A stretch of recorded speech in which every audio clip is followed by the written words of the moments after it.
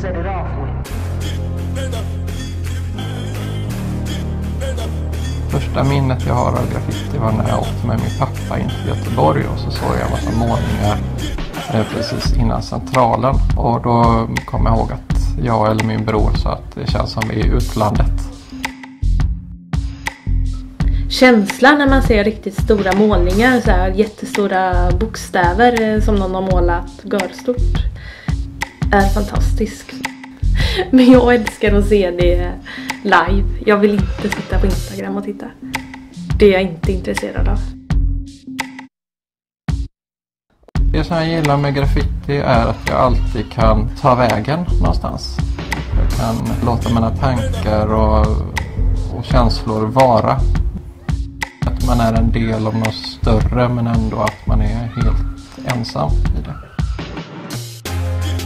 När jag fastnar i någonting så försöker jag bryta och hitta på former som inte finns eller utmana mig själv.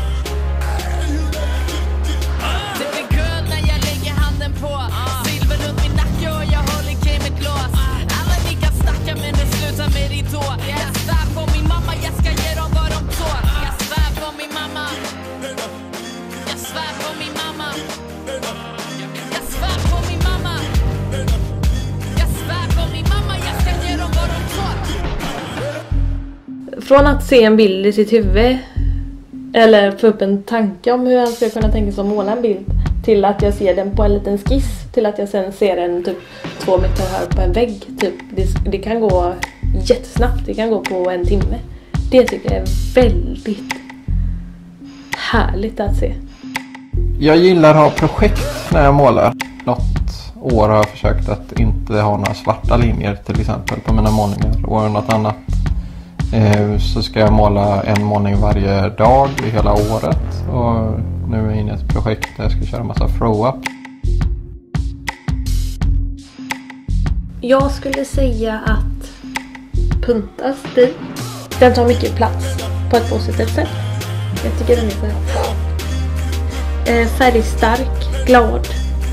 Jag gillar när det inte är för tillkrånglat.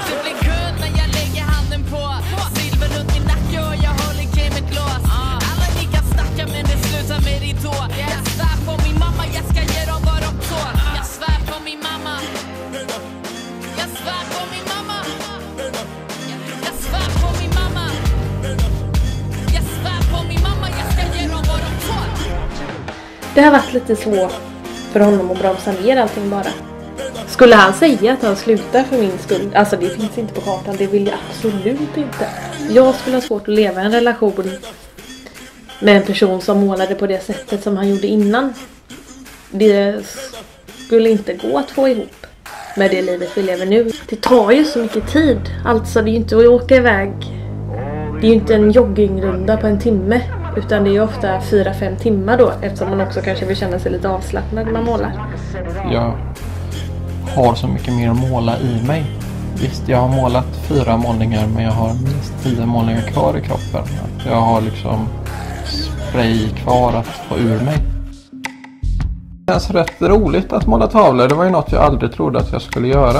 Eh, graffiti på tavlor är ju inte på riktigt. Och det är ingen helkroppsupplevelse som det är att måla gra- graffiti ute. Jag tänker att graffitin har tagit ifrån mig tiden med mm, nära och kära. Jag har inte varit så intresserad av att söka nya kontakter med kollegor och bekanta. Eh, om de inte har med graffiti att göra. I framtiden så skulle det vara kul Ja, men det skulle vara kul att bara fortsätta måla, måla, måla. Eh, att få min stil att utvecklas, få min teknik att bli vassare.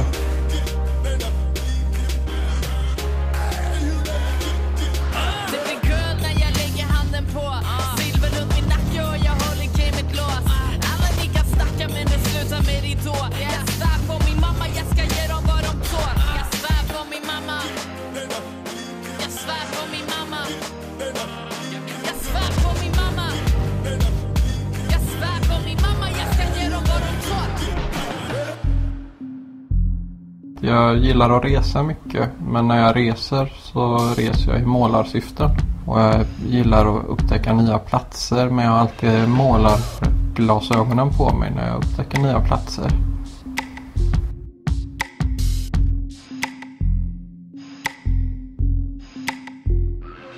Fick tag på en pandamask. Jag hjälpte till att sälja mat på en eh, festival och då fick jag en pandamask som betalning.